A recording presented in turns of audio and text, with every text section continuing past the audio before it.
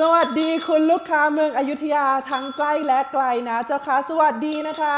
ร้านของข้ารับประกันส่งแค่ 70 วันถึงบ้านนะเจ้าค่ะใช้ม้าเร็วหรือเรือแจวรับประกันส่งเร็วอันดับหนึ่งในน่านน้ำเจ้าพระยานะเจ้าค่ะดินสอพองนะคะถ้าเกิดใครอยู่ในไลฟ์นี้อยากให้แม่นายรีวิวอะไรก็พิมพ์ 1 กด 1 กด 2 มาได้เลยในคอมเมนต์ด้านล่างนะคะ ไม่ทราบว่าสินค้ามีออยไหม ออยคืออันใดพี่อิงพี่แอมข้าหารู้ไหม มีนายอาสินหนาหมายไหม คืออันใดพี่อิงพี่แอม ภาษาฝรั่งคีหรือ คุณกำลังทำผิดกฎชุมชนเนื้อหาของคุณผิดกฎหมาย ผิดกฎหมาย วัสดีครับไม่ได้คลานกลับมาอีกครั้งกับคลิกหลังกล่องวิดีโอรีวิวผลิตภัณฑ์สกินแคร์จากมุมบางส่วนผสม อ่ารู้เลยนะครับว่าช่วงนี้ใครติดละครอยู่ คือช่วงนี้ติดมากนะครับ ดูเพลินๆ ยิ้มตามอะไรตามนะครับ จนกระทั่งแม่พุดตานเริ่มทำมาสก์หน้า DIY เริ่มเปิดร้านเครื่องสำอางครีมกวน เริ่มเอะใจแล้วว่า เอ้ย เจ้าหน้าที่อย.อยุธยาอยู่ไหน ต่อคอบอยุธยาคิดจะกินเงินภาษีไปวันๆหรอ แต่มันก็ทำให้ฉุกคิดแล้วก็ตั้งคำถามเหมือนกันนะครับว่า การดูแลผิวฉบับภูมิปัญญาไทยดั้งเดิมเนี่ยมันเริ่มต้นมายังไงทำไมคนไทยถึงใช้ต่อๆกันมาหลายร้อยปีได้นะครับ มันต้องมีอะไรดีสักอย่างสิ ไม่ว่าจะเป็นขมิ้นเอยมะขามเปียกเอยดินสอพองเอยมีตรงไหนที่ดีกว่าสกินแคร์ยุคปัจจุบันหรือเปล่า หรือว่าใช้แล้วเนี่ยมีแต่จะอันตราย เดี๋ยวนี้เนี่ยเราจะมาสำรวจสกินแคร์ในการะเกดช็อปกันดูนะครับ มาดูกันว่าสกินแคร์ยุคพรหมลิขิตเนี่ยจะใช้แล้วติดหรือว่าใช้แล้วขิตกันแน่ ถ้าเป็นคนชอบก็อย่าลืมกดไลค์แล้วก็ subscribe ให้ด้วยนะครับแล้วถ้าพร้อมแล้วเรารีบไปดูกันเลยดีกว่า เอาละครับ สินค้าตัวแรกในการะเกดช็อปเนี่ยก็คือขมิ้นเหลืองนะครับ แต่เดิมเนี่ยขมิ้นเหลืองเขาไว้ใช้ขัดตัวนะครับ เพื่อให้ผิวเนี่ยมีความขาวความกระจ่างใสมากขึ้น เป็นอะไรที่ใช้ต่อๆกันมาหลายร้อยปีในแผ่นดินสยามนะครับ แต่บนช่องนี้เนี่ยการใช้ดีบอกต่อไม่สามารถพิสูจน์อะไรได้อยู่แล้วเนอะทำไมฉันจะต้องฝากความหวังผิวฉันไว้กับอเหล่ามาด้วย อิงขอมองหา hard evidence หรือว่าข้อมูลทางวิทยาศาสตร์ เพื่อยืนยันข้อเท็จจริงหน่อยได้ไหมเมื่อลองไปคุยงานวิจัยดูแล้วนะครับก็พบว่าเฮ้ยจริง ๆ ตัวขมิ้นตัวนี้มันก็มีงานวิจัยสนับสนุนเยอะอยู่เหมือนกันนะครับ ในปี 2016 เนี่ยก็มีนักวิจัยหลายคนมารวมตัวกันนะครับ แล้วก็สรุปงานวิจัยทั้งหมดในวงการแพทย์ที่มีเกี่ยวกับตัวขมิ้นนะครับ มีอยู่ประมาณ 18 วิจัยด้วยกัน พบว่าตัวขมิ้นเนี่ยมีสารที่เรียกว่า curcumin ตัวนี้เนี่ยเขาบอกว่าอาจจะช่วยเพิ่มความกระจ่างใสได้ แต่จะเย็นก่อนนะครับ ก่อนที่ทุกคนเนี่ยจะวิ่งออกไปซื้อขมิ้นมาขัดผิวกัน อิงจะขอบรรยายให้คุณเห็นภาพนิดนึงละกันว่าทำไมมันอาจจะเป็นอะไรที่ได้ไม่คุ้มเสีย หลายหลายคนอาจจะมีความเชื่อว่าของที่มาจากธรรมชาติที่ไม่ได้มีการปรุงแต่งใดๆเลยเนี่ย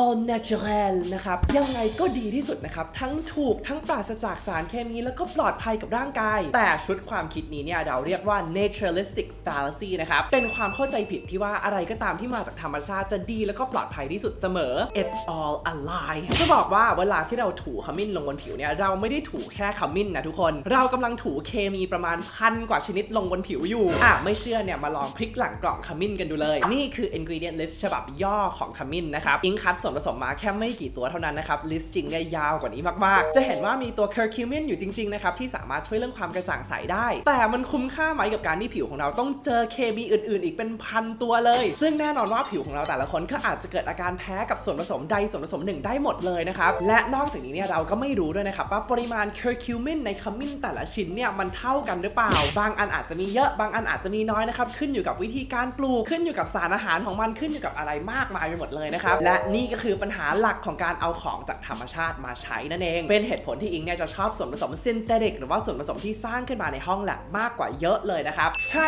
ส่วนผสมอย่าง azelaic acid หรือว่า niacinamide นะครับอาจจะฟังดูน่ากลัว อาจจะฟังดูวิปลาสไปแล้วในสายตาของออเจ้า เพราะมันอาจจะไม่ได้เห็นเป็นรูปธรรมเหมือนกับขมิ้น แต่อย่างน้อยเนี่ยมันเป็นสารเดี่ยวๆเพียวๆเลยนะครับที่ไม่มีสารเคมีอื่น ๆ ที่เราไม่ต้องการติดมาด้วย ลดความเสี่ยงในการแพ้ไปได้มหาศาลเลย แล้วเวลาที่เราราสกัดเนี่ยเรายังสามารถระบุได้เลยนะครับว่าเราต้องการในปริมาณเท่าไหร่แบบเป๊ะๆเลย 1% 2% 5%ว่ามาตามงานวิจัยเลย ที่พูดมาทั้งหมดนี้เนี่ยไม่ได้อยากจะมาด้อยค่าสมุนไพรไทยหรือว่าภูมิปัญญาคนไทยสมัยโบราณนะครับ จริง ๆ ความลับใหญ่ของวงการสกินแคร์ทุกวันนี้คืออะไรรู้ไหมทุกคน เวลานักวิทยาศาสตร์เริ่มคิดค้นสูตรหรือว่าส่วนผสมใหม่ในสกินแคร์เนี่ยเขามักจะมองกลับไปที่ตำราสมุนไพรโบราณเพื่อแรงบันดาลใจ เดือนก่อนเนี่ยอิงเพิ่งถามคำถามนี้กับทีมนักวิจัยที่ได้รับรางวัลโนเบลที่ฝรั่งเศสเลยนะครับเพราะส่วนใหญ่เนี่ยมักจะพบหลังจากเริ่มวิจัยว่ามันก็มีผลดีจริง ๆ นั่นแหละ แต่ส่วนตัวก็ยังแนะนำว่าให้หาอะไรที่เขาวิจัยมาให้แล้วสำหรับใครที่อยากจะลองส่วนผสมจากขมิ้นเนี่ย ตัวหนึ่งที่คิดว่าตอบโจทย์มาก ๆ เลยนะครับ ก็คือ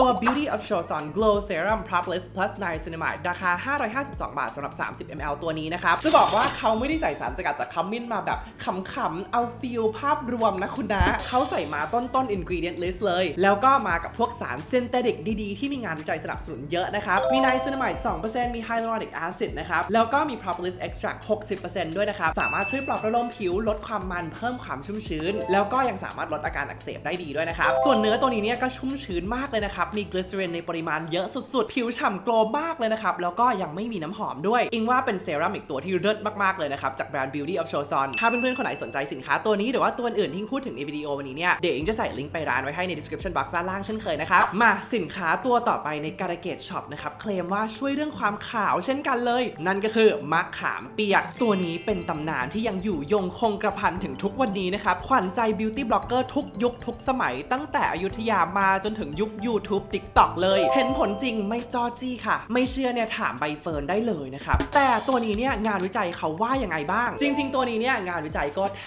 บจะไม่มีเลยเช่นกัน แต่โดยหลักการแล้วนะครับตัวนี้เนี่ยเขาคาดว่าอาจจะเห็นผล เพราะว่ามีส่วนผสมของกรด AHA อยู่เยอะ อย่างเช่น tartaric acid citric acid แล้วก็ malic acid นะครับ ตัวพวกนี้มันก็จะสามารถช่วยผลัดเซลล์ผิวด้านนอกได้ดีนะครับ สามารถทำให้ผิวเนี่ยดูกระจ่างใสขึ้นได้ชั่วคราว แต่เช่นเดียวกันเลยนะครับ ถ้าเกิดมะขามเปียกเป็นกล่องเนี่ย นี่ก็คือ ingredient list ของเขา ถ้าเกิดเราลองพลิกหลังกล่องดู อันนี้ก็เป็นแค่ส่วนผสม 100 ตัวแรกในมะขามเปียกเท่านั้นนะครับ จริง ๆ แล้วเนี่ยมันยาวกว่านี้เยอะเลย มีทั้งน้ำหอม มีทั้งสารเคมีอะไรอีกมากมายเลยที่อาจจะแพ้ได้ แม้แต่ตัวกรด AHA ที่เราต้องการก็ตามนะครับ เราก็ไม่ทราบเหมือนกันว่าไอตัวมะขามเปียกที่เรากรีดมาใช้เนี่ยมันมีอยู่มากน้อยแค่ไหน หลายครั้งบอกเลยว่าอาจจะน้อยจนไม่เห็นผลเลยก็ได้ เพราะฉะนั้นทำไมเราถึงไม่ลองหาพวกกรดดีๆ พวกนี้ในสกินแคร์ที่เขาสังเคราะห์มาให้ในปริมาณที่ถูกต้องตามงานวิจัยแล้วตัวอย่างเช่น The Ordinary AHA 30%บวก BHA 2% Peeling Solution ตัวนี้นะครับ ราคา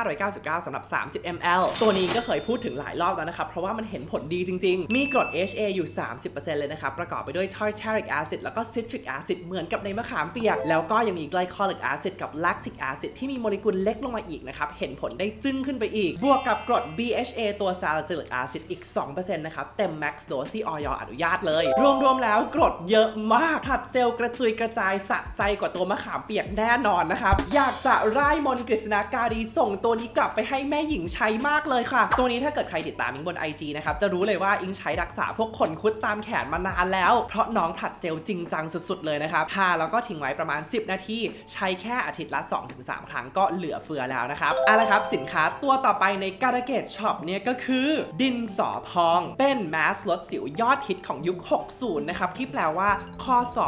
1600 นะครับ แต่ว่าก็ยังใช้ต่อเนื่องมาจนถึงทุกวันนี้ในไทยแล้วก็ประเทศเพื่อนบ้านด้วย เดี๋ยวเรามาดูกันดีกว่าว่าเขาคืออะไรแล้วก็มีงานวิจัยสนับสนุนจริงๆไหมดินสอพองเนี่ยจริง ๆ แล้วมันคือหินโคลนเนื้อ marl นะครับหรือว่า marley limestone กลไกการทำงานของมันเนี่ยก็เหมือนกับดินโคลนทั่วไปเลยนะครับเขามีฤทธิ์ของการดูดซับความมันของผิวออกมาจนหมดเลยนะครับ ก็เลยสามารถช่วยลดความมันบนผิวได้ ซึ่งก็เป็นหนึ่งในสาเหตุของการเกิดสิว แต่บอกเลยว่าปัญหาที่ตามมาเนี่ยมีมากมายเหลือเกินนะครับ อย่างแรกเลยดินสอพองมีค่า pH สูงนะครับประมาณ 8 เสี่ยงต่อการรบกวนเกราะป้องกันผิวที่นำไปสู่การระคายเคืองการอักเสบนะครับแล้วก็การสูญเสียน้ำออกจากผิว หรือว่าที่เราเรียกว่า trans epidermal water loss ซึ่งทั้งหมดนี้เนี่ยแน่นอนว่าอาจจะทำให้สิวแย่ลงได้ อย่างที่ 2 สุดท้ายแล้วเนี่ยน้องคือหินนะครับที่มีความสากเวลาถูลงบนผิวเนี่ยมันอาจจะไม่ได้เจ็บมาก แต่บอกเลยว่าสามารถทำให้เกิดบาดแผลเล็ก ๆ ใต้ผิวที่เรามองไม่เห็นที่นำไปสู่การอักเสบนะครับแล้วก็จุดด่างดำกับสิวที่แย่ลง นอกจากนี้เนี่ยทางสถาบันเทคโนโลยีนิวเคลียร์แห่งชาติเขาก็ได้ทำวิจัยมาด้วยทุกคน เขาไป